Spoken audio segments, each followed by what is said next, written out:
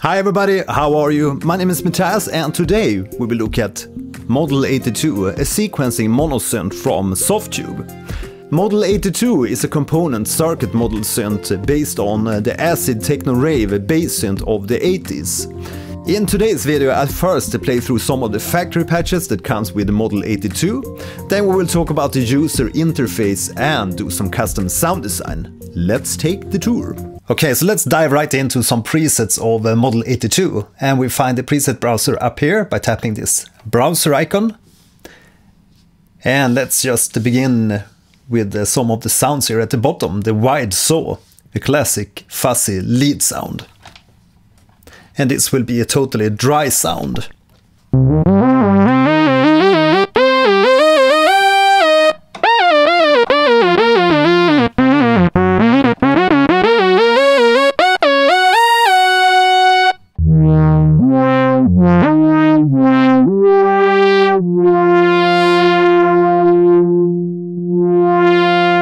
That's a really fat and analog modeled sounding filter. Let's bump up the resonance a little bit.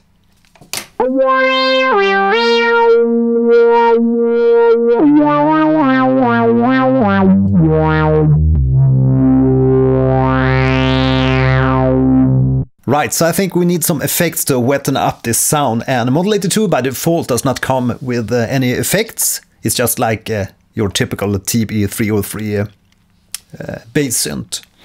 But uh, we can add some delay plus from Bitwig and uh, the free Valhalla Shimmer reverb. Let's add a little bit of that.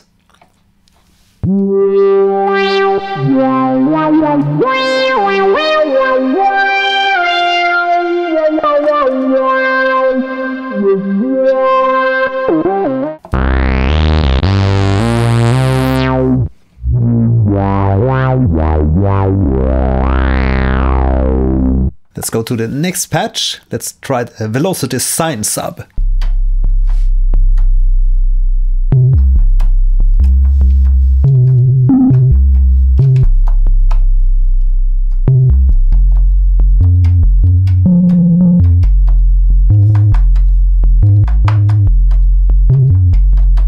That's a really fat uh, sine bass.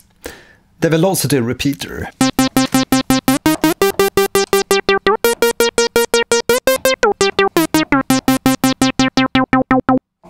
Let's add some effects on that one too.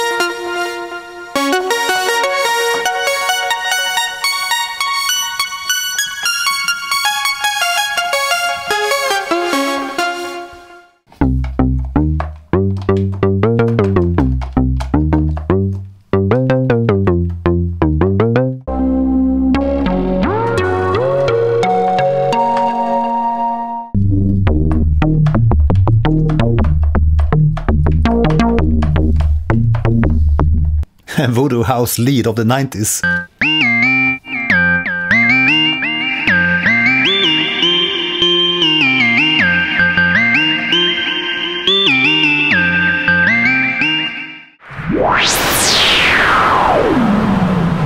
A great transition effect, like a noise uh, sweep transition.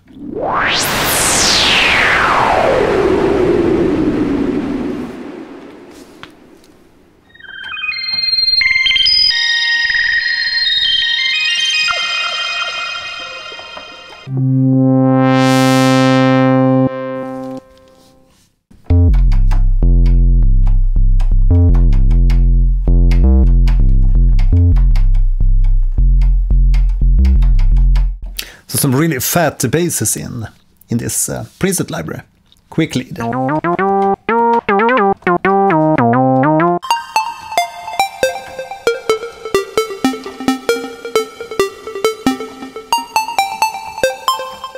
Okay, so it's time to talk a little bit about the user interface of a Model 82. In the middle section here we have the source mixer, and that's where your oscillators live. We first have a pulse width oscillator, which is the main oscillator.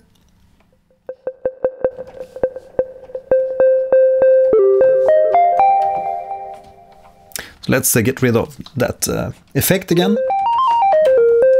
So that's our pulse with uh, oscillator, and we can obviously select which uh, octave this should be with the VCO section here.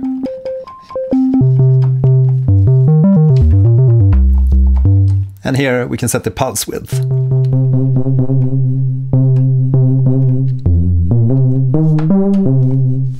And we also have a switch here for setting if uh, the pulse width should be controlled by an LFO or it should be manual or by the envelope.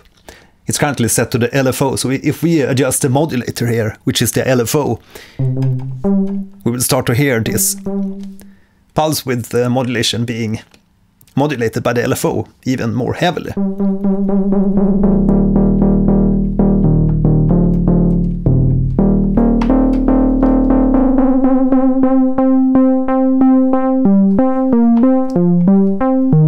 And you can set the LFO to either be free, so free tempo, or sync to the tempo of your DAW. So if it's set to your DAW here, you can set it to uh, 16th notes, 8 notes, quarter notes, etc. Let's set it to free again. And you obviously have a triangle, uh, square, and random and uh, noise modes for, for the LFO. Aside from the pulse width uh, oscillator, we also have a sawtooth oscillator. And a sub oscillator.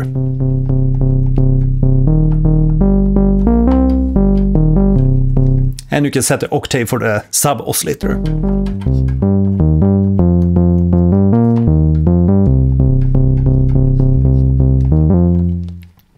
We can also add some noise.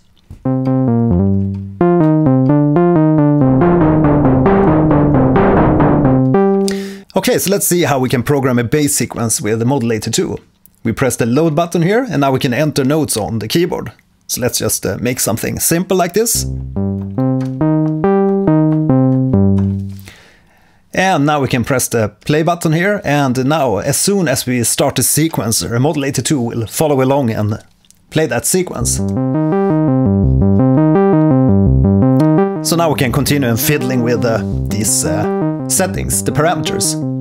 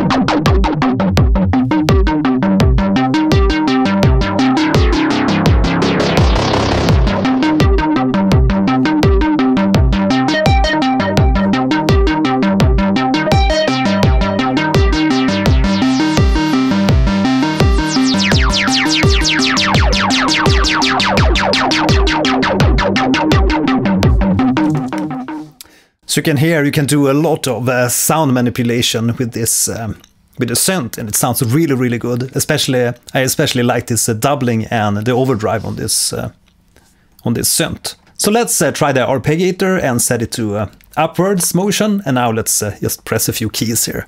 Let's take something in D minor instead.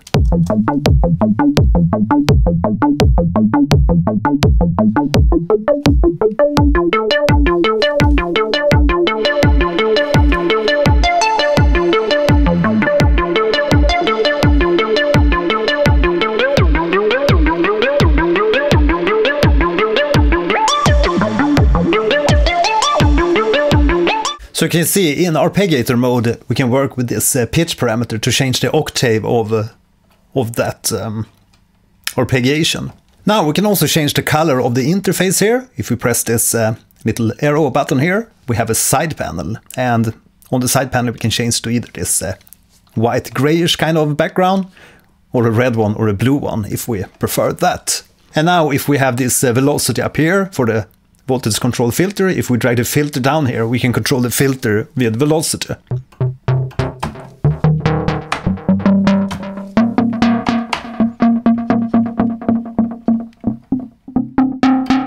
Now we can also choose to have this uh, the pitch bend here control uh, the VCO, VCF and uh, also have a trigger here for the LFO to trigger the LFO, which can be quite nice if we have like longer notes. If we play a little phrase.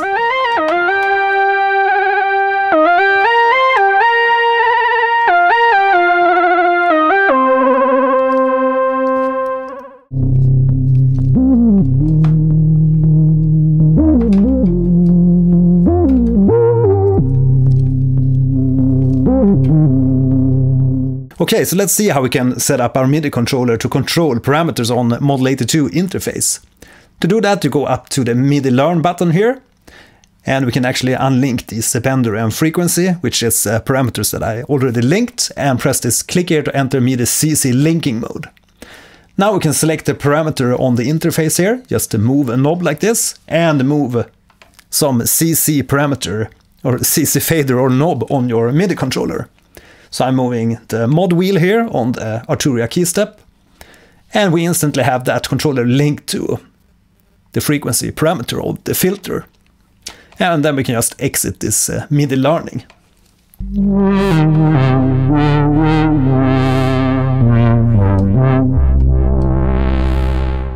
Okay, so in conclusion, I think that Model 82 has a really nice analog modeled sound to it.